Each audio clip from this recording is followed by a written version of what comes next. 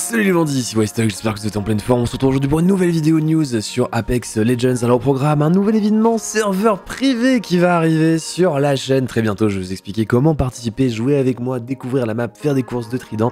C'est un truc que j'adore faire, je suis trop content de pouvoir le faire. Je vais vous parler des skins market qui viennent de euh, sortir, des changements en ranked qui ont été pour le futur de la place d'Apex Legends sur Twitch qui cartonne de fou, le retour des cheaters et surtout des pick rates des différentes légendes du jeu. Si vous pensiez que H était populaire, eh bien vous aviez raison parce que H est super populaire, on va analyser ça ensemble, c'est super intéressant. Je me permets de vous rappeler que demain, eh bien, je fais le tirage au sort pour les 11 500 pièces Apex que je vous fais gagner sur mon Twitter, mes chers bandits. Donc si jamais vous avez envie de participer, il reste encore un petit peu de temps pour le faire.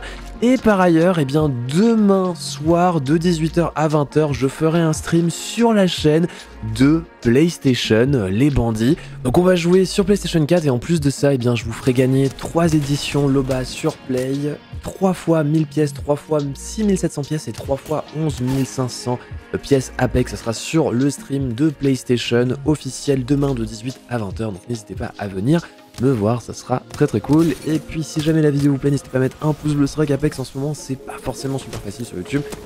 Donc je compte sur vous, merci d'avance. Alors la première news dont j'ai envie de vous parler, eh bien c'est le retour des serveurs privés, les bandits. J'organise une soirée spéciale le lundi prochain, donc lundi 15 euh, novembre de 18h à 21h.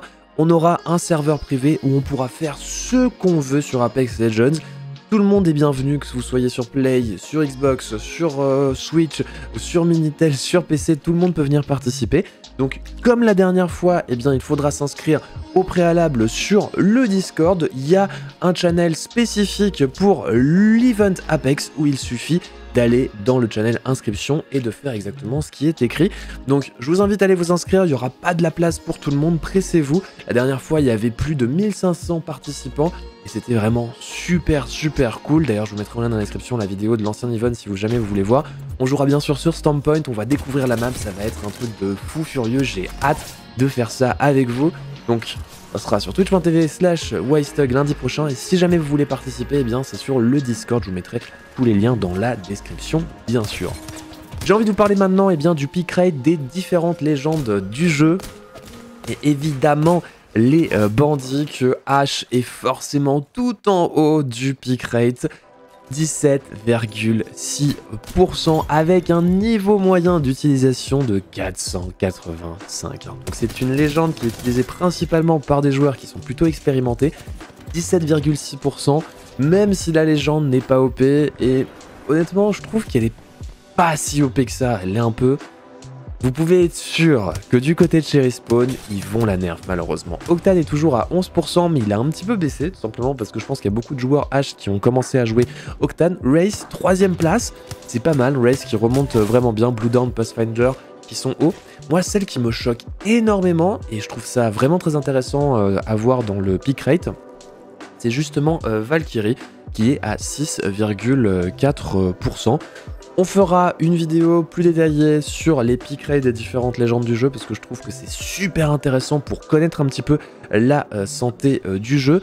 Juste petite information, Cyr, qui était, je vous le rappelle, à 20% au début de la saison précédente, est à 2,3%. C'est juste devant Riven à 2,2. C'est pas très haut et Cyr a pris beaucoup trop cher pour son nerf. J'espère voir un buff bientôt. En tout cas, ça serait plutôt euh, cool. Ensuite, j'ai envie de vous parler eh d'Apex Legends qui cartonne sur Twitch. Alors est-ce qu'il cartonne en France plus qu'au global? Je pense pas, hein. je vous avoue qu'en France c'est... On commence à sentir qu'Apex euh, a eu un espèce de pic de popularité sur la saison 8 et que maintenant ça l'est un petit peu moins, mais bon, hein, de toute façon, toutes les meilleures choses ont une fin. En tout cas, au global, par contre, c'est assez dingue parce qu'avec la saison qui vient de sortir, eh bien, Apex Legends se hisse à la cinquième position au classement euh, général des euh, sorties de jeux et des jeux qui sont stream et regardés.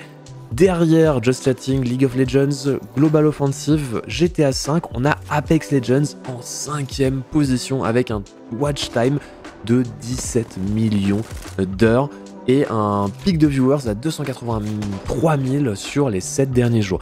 C'est assez dingo et ce qui prouve que du côté de chez Apex, on a quand même euh, pas mal de ressources. Après, il y a quand même quelque chose à garder en tête, c'est que du côté de chez euh, Apex Legends, il est clairement euh, vrai que le jeu commence un petit peu à s'essouffler au bout de 3 ans. Personnellement, je suis super satisfait de cette nouvelle saison mais je me demande si euh, les gens resteront euh, intéressés et investis sur le jeu pour cette fin d'année. En tout cas, je l'espère. Je suis curieux de savoir d'ailleurs si vous aussi vous continuez de regarder des streams et des vidéos autant qu'avant ou si c'est un petit peu moins. J'ai l'impression que la fin d'année est quand même assez rude, surtout qu'il va y avoir la nouvelle map pour Call of Duty Warzone qui va sortir et ça je pense que clairement les gens vont être assez intéressés étant donné que ça joue à peu près dans la même euh, catégorie. Je vais vous parler maintenant des cheaters euh, Imperial Hall que vous connaissez qui euh, de nouveau s'expriment sur internet pour expliquer que voilà ça fait plus de deux ans que le jeu est sorti et qu'il y a toujours des gens qui cheatent dans les tournois du jeu et dans des parties à haut rang. Effectivement les cheaters sont de nouveau présents sur Apex, il y a aussi des problèmes de DDoS à nouveau. J'en parle de façon euh, assez régulière, euh, toutes les deux semaines, je vous fais un post euh, là-dessus, mais c'est vrai que les cheaters sont de nouveau arrivés, alors en partie normale, en gold, en plate, en diam, franchement ça va, mais c'est vrai que c'est du côté vraiment des prédateurs et des masters, les gens qui jouent, voilà, qui ont 10, 15 000 heures, peut-être même 20 000 heures maintenant aujourd'hui pour certains joueurs, ce qui est énorme, je sais pas. D'ailleurs si c'est possible, mais bref, vous voyez le genre de, joueurs et de lobby, des gens qui vivent vraiment d'Apex et qui font que ça, se faire frustrer comme ça par des cheaters, je pense que ça doit être complètement euh, abusé. Donc euh, voilà, des cheaters de nouveau, je suis curieux de savoir si vous, de votre côté, vous avez aussi expérimenté des cheaters sur Apex Legends ou euh, non. J'aimerais vous parler maintenant eh des nouveaux skins qui sont sortis avec l'événement Market, avec un skin pour Race, euh, pour euh, Blue Down, pour Lifeline, pour JB qui n'est du coup n'est pas une collaboration avec Market et euh, pour Mirage. Personnellement, je vous avoue que je suis pas fan des skins. pour une fois, j'aime beaucoup celui de Mirage. Je me tâte, je pense que c'est celui que je prendrai éventuellement. Les autres me plaisent pas énormément. Je suis pas fan de l'esthétique générale. Race et Mirage sont plutôt sympas. Au niveau du prix, ça reste cher. Alors attention, hein, parce qu'il n'y a pas juste les bundles. Les bundles sont aussi euh, mis en vente avec des objets qui ne sont pas exclusifs à l'événement. Donc faites attention à ne pas vous faire avoir si jamais vous voulez acheter effectivement uniquement par exemple le skin euh, Race. Vous avez la possibilité de le faire pour 1800 euh, pièces. Donc gardez ça en tête. Je vais vous parler maintenant eh bien, de nouveautés qui devraient arriver pour le calcul de points en ranked. Ça a été teasé par euh, Ex Geniard, qui est un développeur de chez euh, Respawn, qui explique que euh, les charts de calcul de points vont être, être encore plus compliqués à l'avenir. En gros, ils vont encore ajuster le calcul de points en ranked. Alors, en soi, je trouve ça un petit peu dommage que le système de ranked se complexifie pour un souci de compréhension. La vérité, c'est que finalement, avoir un système plus complexe sur le papier qui est peut-être difficile à comprendre, c'est pas si gênant si le système de ranked est mieux et mieux équilibré. Et je pense que par exemple, autant à rang euh, plus bas, pas forcément très intéressant, autant quand vous vous retrouvez dans des lobbies à, au diamant, moi je pense qu'il faudrait peut-être éventuellement envisager aussi le fait de se faire euh, peut-être euh, de perdre moins de points, je sais pas, comment calculer ça, de perdre peut-être moins de points si on se fait kill par des joueurs qui sont master ou preda pour vraiment faciliter euh, les lobbies qui sont déséquilibrés. Encore une fois, je parle de, toujours, je pars de l'optique d'une expérience solo queue. Quand vous êtes par exemple en diamant, moi ça fait 3 ans que je joue à Apex. Euh, un truc qui m'a fatigué quand on est diamant et qu'on joue contre des lobbies master de Tristack, de prédateurs, de mecs qui jouent ensemble, etc c'est pas une expérience de jeu qui est satisfaisante. Donc peut-être que si on arrive à ajuster le système de points suffisamment, ça pourrait éventuellement euh, faciliter les choses pour euh, pas mal de gens. En tout cas, je pense que c'est quelque chose qui pourrait être euh, bienvenu. Ça serait très très cool. Vous remercie de me regarder mes chers bandits, j'espère que la vidéo vous a plu. On se retrouve du coup lundi prochain pour l'événement de serveur privé. Si jamais vous voulez participer, je vous rappelle que c'est sur le Discord. Tout est expliqué dessus.